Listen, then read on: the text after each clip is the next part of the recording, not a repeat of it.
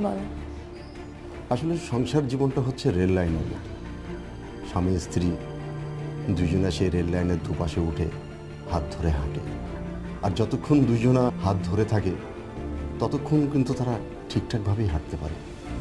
আর যখনই একজন হাত ছেড়ে দেয়, তখনই কিন্তু আরেকজন ঠিকভাবে হাঁটতে পারে না।